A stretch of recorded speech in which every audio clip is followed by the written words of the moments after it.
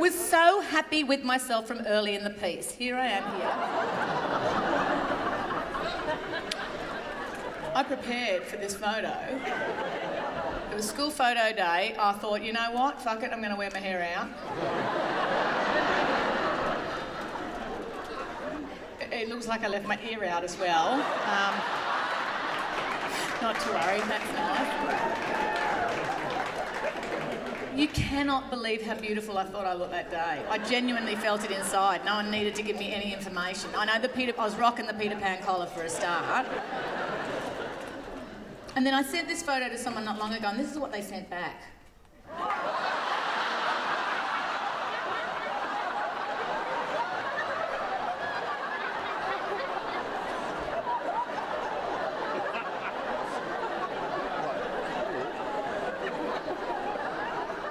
Don't see it. Um,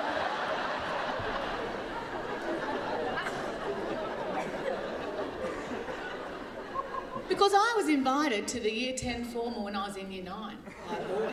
So I was pretty hot. And you know what? I rewarded him by turning up dressed like this.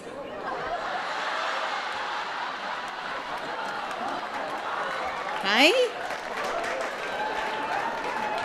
Does that not have I'm ready to root written all over it? I can't believe I missed out. I can't believe I missed out. Who's not having a slice of that? Oh, that fucking love hurts me. Wow, that actually made me go a little bit dizzy.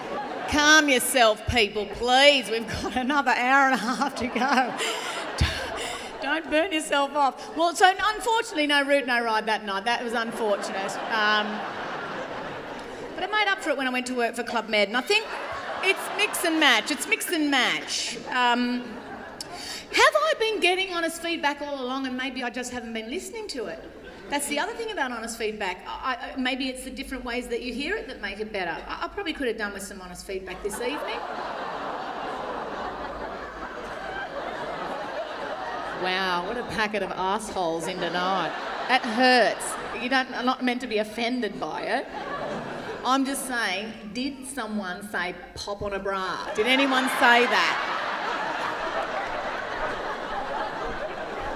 It looks like they're off pointing in their own directions with their own cameras. Hey, what's up?